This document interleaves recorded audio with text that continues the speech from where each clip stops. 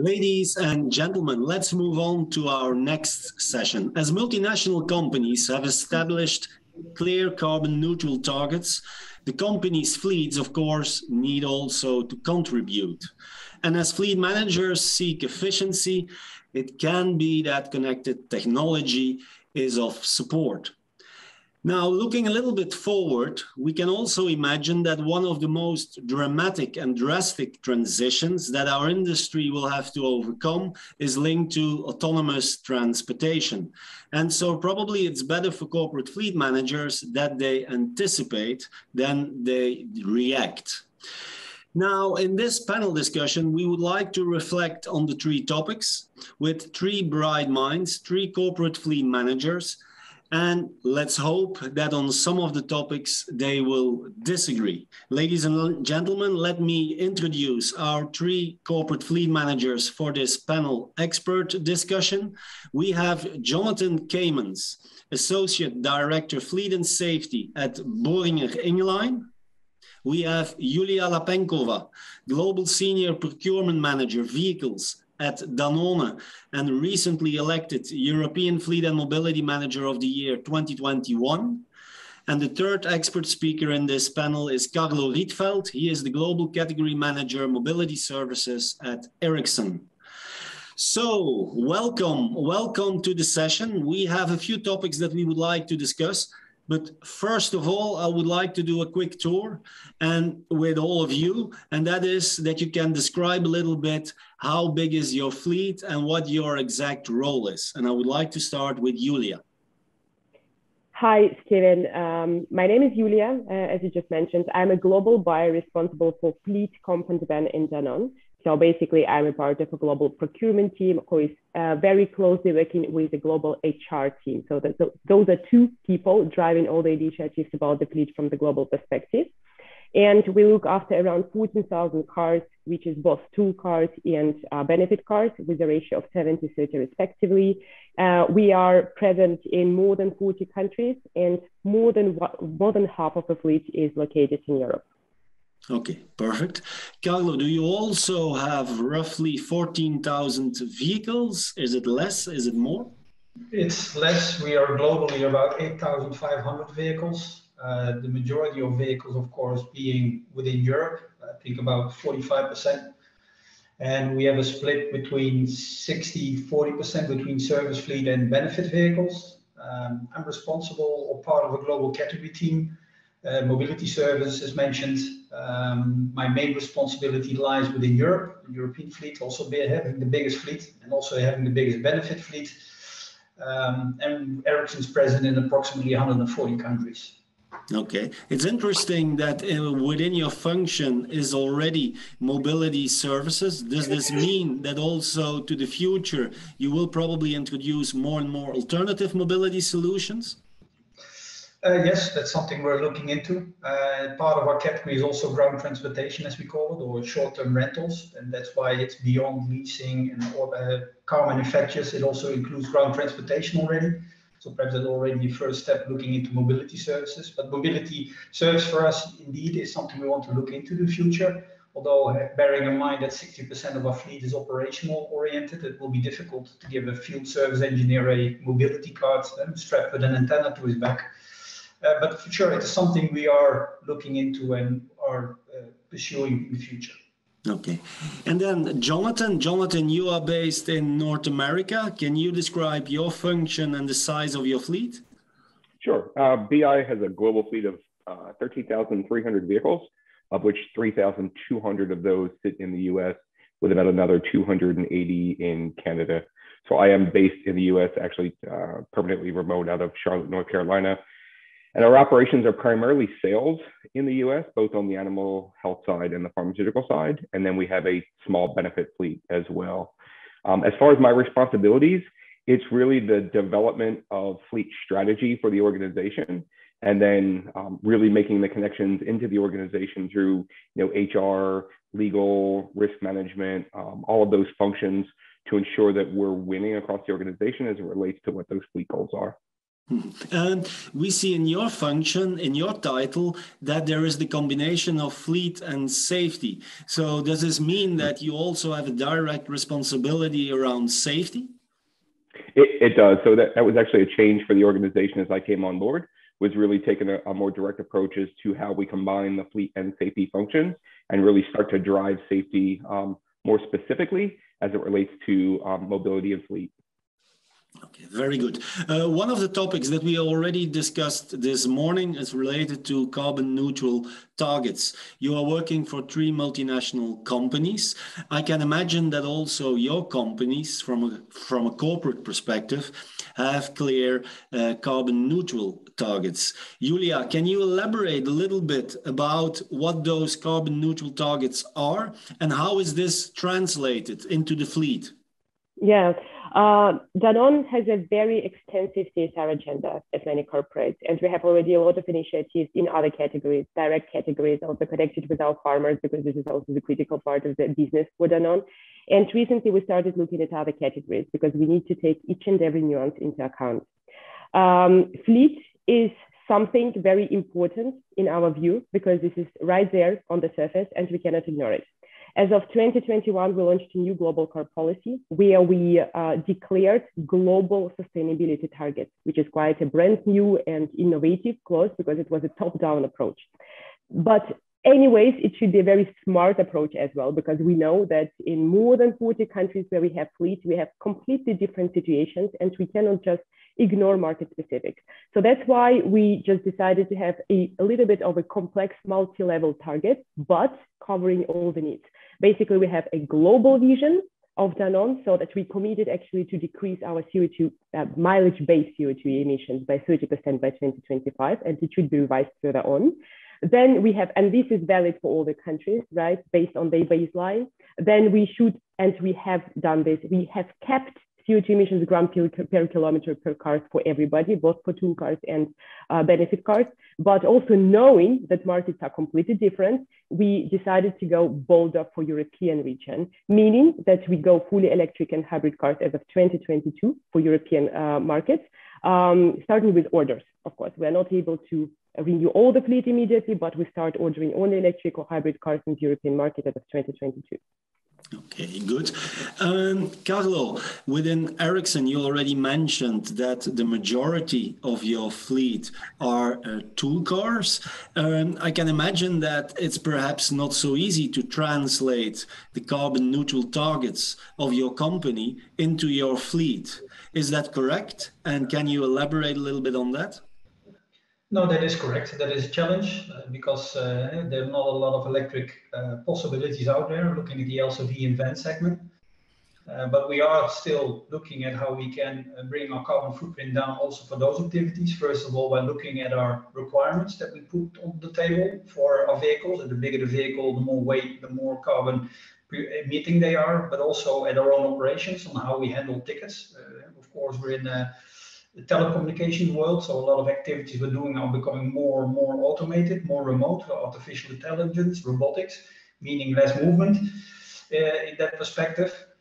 Um, so, and then also looking at putting carbon caps on on on on, uh, on our fleet uh, vehicles as well, saying specific driving towards our carbon footprint reduction targets, which Ericsson has as well. Uh, we want to be uh, actually net zero emission uh, by 2030 in our own activities. So actually fully based on our own activities, not offsetting a lot of things. so we're looking on 2022, 2023, but beyond as well 2030 to gradually go to net zero emitting. And also, like I said, looking at our requirements, and hopefully we will have more possibilities and opportunities uh, coming out of the market as well from car manufacturers looking at LCV van segment. Okay. Uh, Jonathan, uh, we always have had the impression that uh, sustainability, carbon neutrality, and North America, until let's say recently, that was not the perfect match. Is that correct? And perhaps now, with everything that is going on also in North America, the investments that are announced, uh, the things that are asked to companies to do in terms of sustainability? Do you see a change in North America and also within your company? I do, and in fact, it's it's a really good question. So joining BI this January, one of the first discussions we had was really what is fleet's impact to the greater organization's goal to you know reduce greenhouse gas emissions and to create you know carbon neutrality by 2030. Um, and, and, the initial discussion was, hey, you know, from a U.S. perspective, we understand it's not possible. And, that's when I challenge everyone to kind of relook at what that opportunity looks like, right? Can we do it holistically across the fleet by 2030? not likely. But if you look at the U.S. economy, look at the direction of the current administration, and you look at some of the you know new tax benefits for the organization, um, there's opportunities for sure. So it, in a couple of weeks, we had kind of mulled over what that might look like, looked at the actual numbers, and from a U.S. perspective, uh, committed that 30% of our fleet would be battery electric uh, by 2030. Okay. Um, let's continue with electrification. Um, Carlo, you already mentioned that, of course, when you have a tool fleet that perhaps is a little bit more challenging than when you have only passenger cars to manage. But uh, you have a fleet, a global fleet, also an APAC. You have quite an important size of your fleet. Uh, is it reasonable to think that you can electrify your fleet across all the regions? No, I don't think so. Uh, you need to do it on a uh, how do you say step-by-step approach uh, for sure. And some some markets are ready to be uh, fully deployed with electric vehicles. They have the right infrastructure. Some markets are not. Uh, so you need to look at it on a market by market and country by country basis. Uh, to be quite honest. And then you know we evaluate on a yearly basis because for sure those countries will evolve as well. And when the time is right, you can introduce electric vehicles there as well, or even plug-in hybrids, right? There are more um, more roads that lead to Rome, uh, to be honest. So you just need to find step-by-step approach driving down your CO2 targets. It's not like you can implement, you know, electrification throughout the globe just like a big bang implementation. You need to do it in phased, uh, within a phased approach. Mm-hmm. Uh, Julia, you were talking uh, at the beginning about that you also need to have a smart approach when it comes to translating carbon neutral targets into your fleet. Um, I can imagine that um, the expectations of your top management relating to carbon neutral targets perhaps are not so easy to implement. And how can you convince your top management that for some countries, for some regions, it might be more challenging and that perhaps some of the timelines that they have set uh, are quite difficult to obtain? Yeah, that's that's a very good question because this is all about the stakeholder management. Uh, because on the one side, you have the global stakeholders who are actually pushing to, to go further. And on the other side, you have local stakeholders and really top management who are saying, no, we're not able to do it now. So what we are doing actually currently, we are constantly, as a company, we constantly uh, do the market analysis specifically for different markets, where uh, we assess on a regular basis the market maturity in terms of infrastructure, right? So this is the one thing which, which we can do on the external analysis. And to be honest, when I look at the, the reports about the market maturity, uh, it's always about the charging points, about how the government supports, etc., etc. But I know that we as a company, we as a corporate, we can also influence this market maturity first by creating an opportunity for the employees to inbuild the home chargers, you know, to invest a little bit in the facility chargers, charging points, etc., and also to create awareness so that's what, what we are also doing, because that's where I agree actually with Carla. We need to create awareness. We need to prepare the audience for the electric vehicles before they start doing that. And that's also one of the uh, ways how we uh, approach our stakeholders on both sides. Okay, it's not going to happen now. It's impossible to do it today, but we should be aware that there is a roadmap and we need to start doing this already now. So there is always a timeline. Okay. Let's now continue with the second topic, which is related to connected fleets. Jonathan, uh, can I imagine that almost all vehicles within your fleet are already connected? So the, the answer would be no. so we, we truly do not have a connected fleet, um, even just from a, a pure telematics perspective, because the origin of our fleet is sales related um, and there's a person use benefit there's still a cultural piece for the organization that we have to work ourselves through um, before we can truly have a connected fleet. Okay. Um, don't you think that it would create multiple benefits to have that connected fleet, Jonathan? Yeah, the, the answer is absolutely yes. The, the benefit isn't only to the organization, but it's, it's also to the, the employee who's driving the company vehicle, right? So all of the, the productivity that we can generate from that, the models that we could potentially change and how we get a market is just pure benefit. Um, and they're the things that we're looking at. Okay. Um, Carlo, uh, Ericsson uh, is, of course, also at the forefront when it comes to new technology. So I can imagine that you already have quite some vehicles that are equipped with telematics and that are connected. Is that correct? We have quite some vehicles, but the same uh, answer as Jonathan applies. Not all vehicles have been connected with telematics. Uh, we are indeed introducing telematics, especially into our uh, field uh, fleet, to, because we link that up to our dispatching uh, system or workforce management, as we call it. So we can actually better and efficiently manage our, our calls. Uh, trying to expand that further as well. But when it comes to indeed um, benefit employees or sales reps, uh, well, we were facing some hurdles there, and mainly in Europe uh, related to GDPR.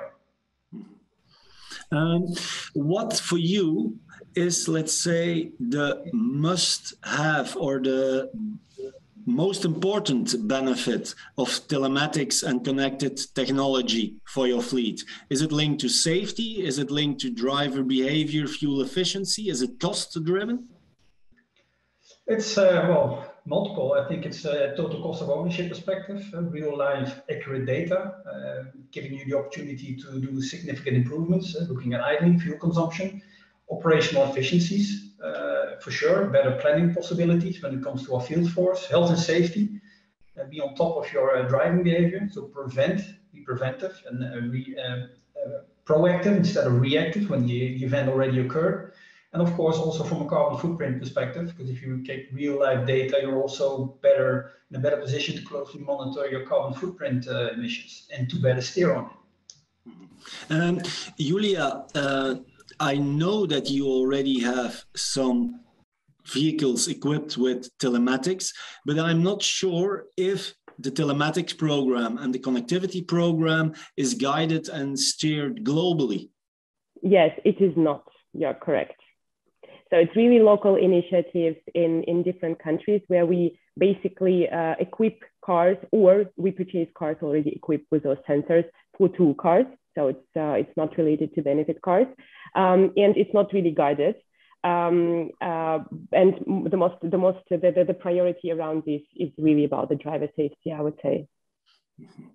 Um, then if you look a little bit to the future, is there the intention at Danone to say, like you did, for example, with carbon neutrality, at that moment, at that point, we should have a complete connected fleet?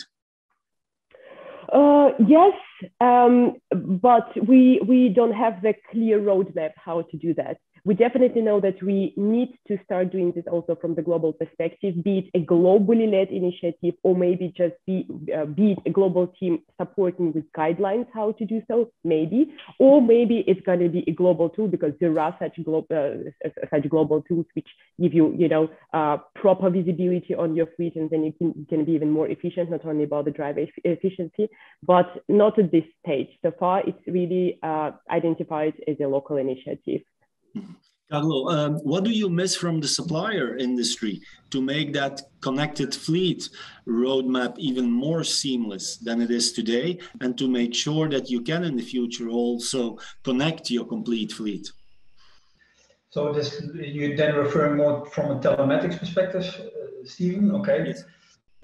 Um, well, I think it's a bit the, the solutions. Um, so we do see uh, you want to have a, a unified implementation. So you want to have a global tool, same setup, same system working. But also, I think uh, looking at the car manufacturers, uh, it would be good. Nowadays we, nowadays, we know that most cars are actually rolling out with some kind of telematics device pre-installed in the vehicle. I think it would be very helpful if that would be opened up to, to the market as well, and, and thus allowing a bit easier implementation of telematics into the world, where now you see you place a dongle yourself in the car, where actually a telematics device already available from a car manufacturer perspective. Mm -hmm. um, Jonathan, do you believe in autonomous technology? I do believe in in uh, autonomous technology. I think we have um, a, a ways to go to get there.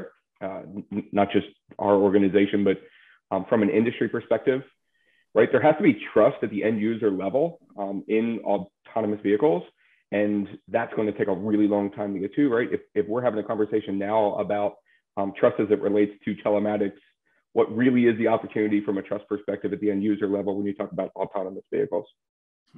Uh, Julia, is trust indeed one of the most important conditions to make autonomous technology work in the future?